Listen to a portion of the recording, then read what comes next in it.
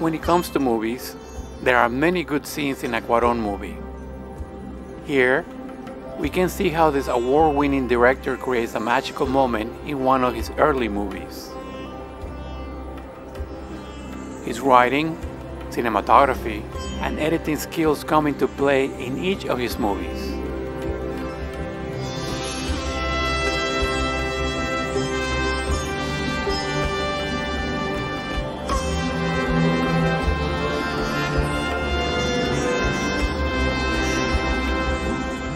We were lucky to catch up with him at the GEMS Festival by the Miami Film Festival, where he received the precious GEM Award. present Alfonso Cuarón, Miami Film Festival's highest honor of the Precious Gem Award. Here at the Miami Film Festival with Alfonso Cuarón. Alfonso Cuarón, uh, mucho gusto, Mucho gusto. señor. How do you feel about getting the GEMS Award tonight by the Miami Film Festival? I'm very honored. I'm very honored. I'm very happy. I haven't been in Miami in a long time, so this is this is really exciting. This is really sweet. Cuarón is one of the most recognized directors of the last 20 years. Not only has he won Oscars for Best Director for Roma, but he also won Best Cinematography. Explorer permission to retrieve Dr. Stone. Your go, Guam. Houston, this Explorer. Copy. All right. We've lost Houston. We've lost Houston. And how can we forget Gravity, where he clinched the Oscar for Best Director and Best Editor? Man down! Houston, Man down!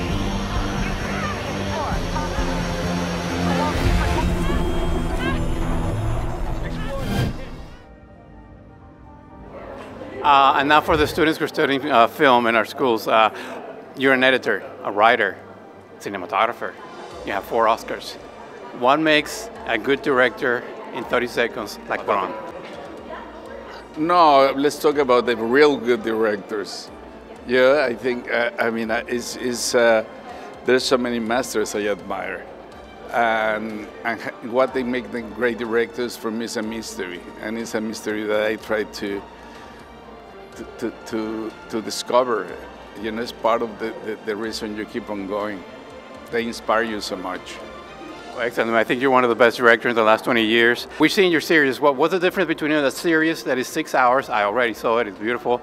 Uh, than making a movie. the length of time it takes. I mean, um, eh, I mean, there they've been other filmmakers that ha- they have approached the format, this format, uh, and I, I have to say I, I would uh, differentiate between filmmakers that take they take and they they follow through uh, from beginning to end, like Steven Zaillian with uh, Ripley this year, or with uh, Fassbinder with Alexanderplatz, or David Lynch with uh, with Twin Peaks. Uh, that is a completely different discipline. It's a filmmaker's discipline, uh, rather than the an, an, another discipline that I admire, but I don't have the skill.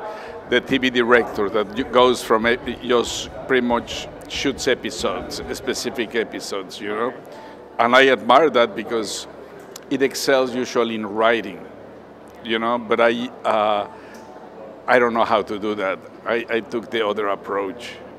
Any last words for the Miami Film Festival? Being here is an honor for, for us to have you. Well, no, it's an honor for me to be here. It's, it's a real honor to be here. You know, it's, uh, uh, what I love is is is is is, is, uh, is one of those festivals that, that keep, keeps the flame alive, and you know, is uh, with the main festival in April and and Gems here now in. in Thank you so much.